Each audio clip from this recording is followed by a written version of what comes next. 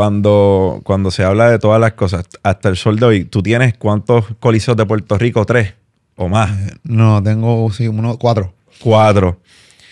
Y yo creo, tú has sido bien vocal en dejarle saber a la gente que a veces vale la pena, o sea, tú le sacas más chavo a Bellas Artes, par de funciones de Bellas Artes que lo que a lo mejor puedes hacer en un coliseo de Puerto Rico. Porque pues el andamiaje es distinto, la inversión es distinta, eh, se va mucho, se- se- más costoso. Son cuatro, no es uno, son cuatro coliseos de Puerto Rico. Hasta el sol de hoy, ¿Cómo se siente pisar el escenario más grande de Puerto Rico ante un todo vendido? Desde un soñador a alguien que alguna vez soñó.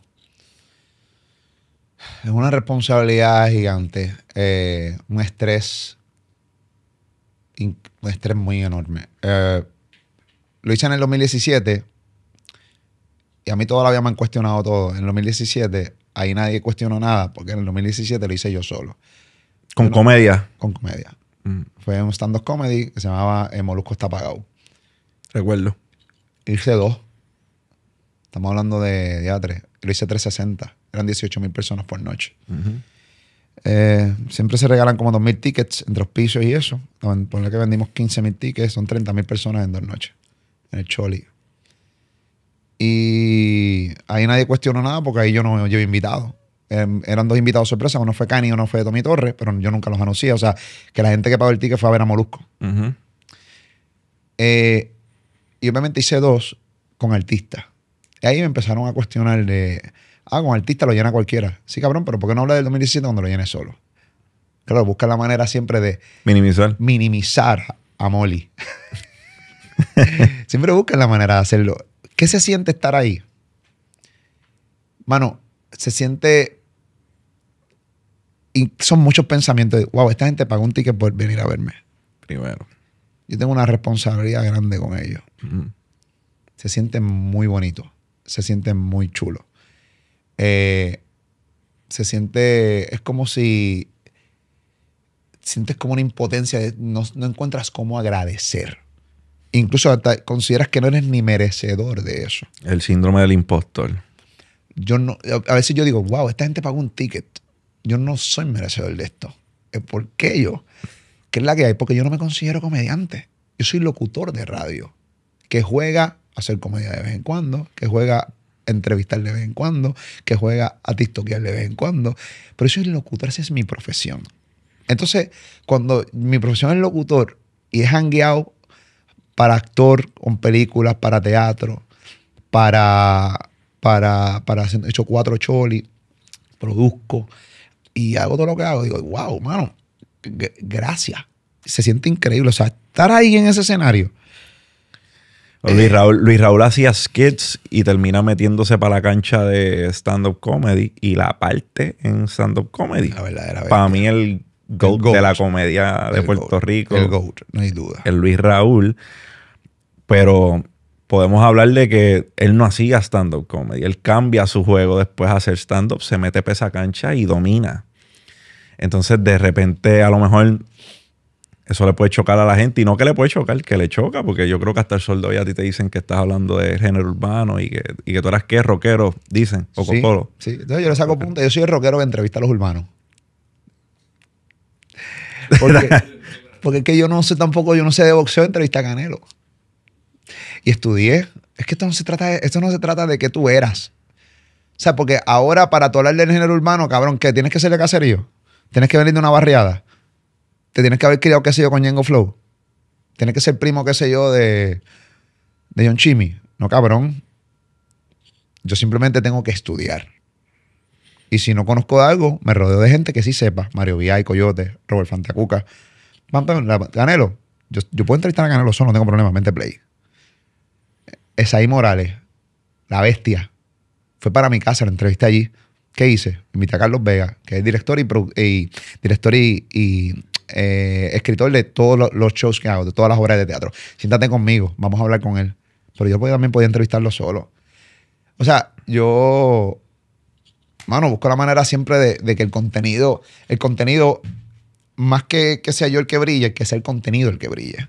Para, que, para el beneficio de la gente. Claro, y si cuentas con las personas, no te vas a dar un tiro en el pie, tan mucho menos. Claro que no. Y en estas plataformas que yo he visto que lo dicen mucho, y volvemos, te entiendo totalmente, nos encanta el morbo. La gente le gusta hablar del morbo y que, coño, Molu le damos foro a, al amarillismo o al bochinche o a esto o a lo otro. Pero lo que pasa es lo siguiente. Lo que pasa es que cuando Molu tiene a Daniel Aviv, cuando Molu tiene a José Garinde, cuando Molu tenga a quien sea que está haciendo algo súper cabrón. Eh, ejemplo, Ángel Manuel Soto, eh, Blue Beetle, no hace mucho tuviste a Ángel Manuel Soto, yo tuve a Ángel Manuel Soto también.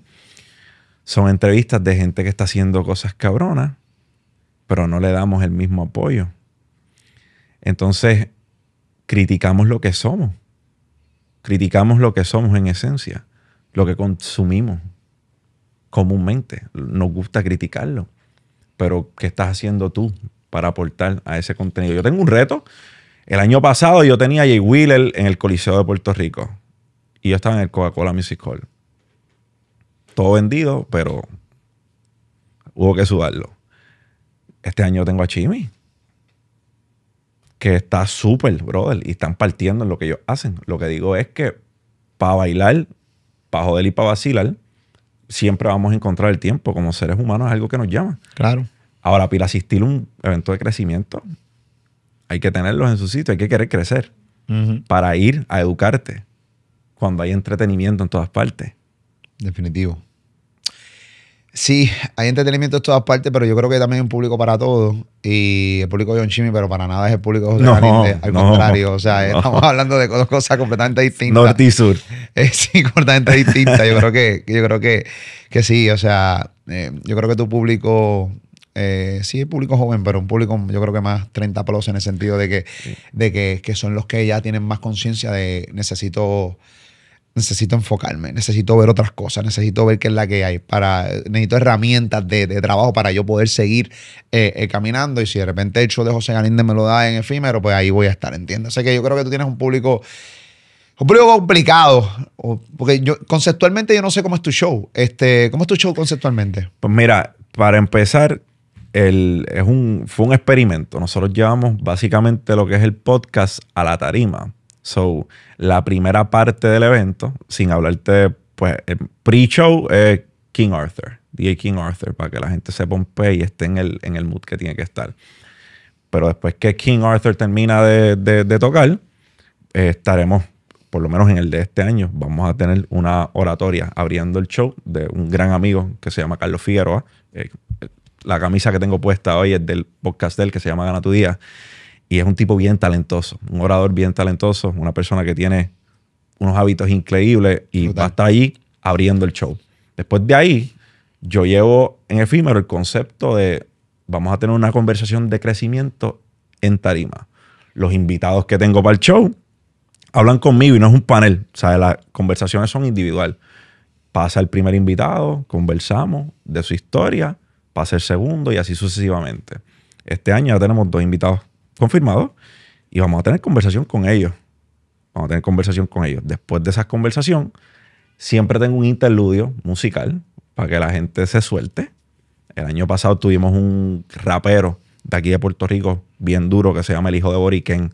Es un chamaco que tiene mucho talento Lo he escuchado. pero hace un rap distinto, ¿me entiendes? Un rap Sí. consciente que te recuerda mucho a las raíces que tenemos nosotros. Este tipo parece sonero cuando rapea. Algo bien cabrón. A mí me encanta. Él es mi rapero favorito. De, de los que hacen música consciente en Puerto Rico, él. Entonces, después de ese interludio musical, viene mi oratoria, que dura algunos 45 minutos. So, es un... Entre todo lo que yo hago, Daniel Aviv te da una oratoria de dos horas y media que está súper cabrón y el tipo te llama la atención esas dos horas. No, yo fui uno de los shows de Daniel Javif y la realidad del caso es que el tipo está ahí sin muletilla, dos horas y media. Da para el carajo. Que es difícil para el orador, pero también es difícil para el público. Claro. Porque el público que no está eh, puesto a una oratoria larga, eso es death by PowerPoint. Pa, estás en una clase y te están dando un PowerPoint ahí. So, eh, a mí me encanta, a mí me gusta, a mí me gusta ese show, pero el puertorriqueño es un poco, no es para todo el mundo, no es un show que es para todo el mundo. Pues yo traté de combinar el entretenimiento, con lo que es la oratoria. O tienes un incentivo de ir porque estás creciendo con las historias que estás escuchando. La única manera para mí de crecer es inspirarme en la historia de otros seres humanos. Te estoy dando las historias de crecimiento, te estás divirtiendo porque hay un interludio de música y después escuchas mi oratoria. So, yo entiendo que combinamos lo mejor de dos mundos. Llevamos el podcast a un escenario, hay entretenimiento y hay crecimiento. Tus invitados eh, anunciados son Elia White Lion. Elia White Lion, Angelique, la Bulbu y todavía hay un tercer invitado que no hemos, no hemos, no hemos anunciado todavía.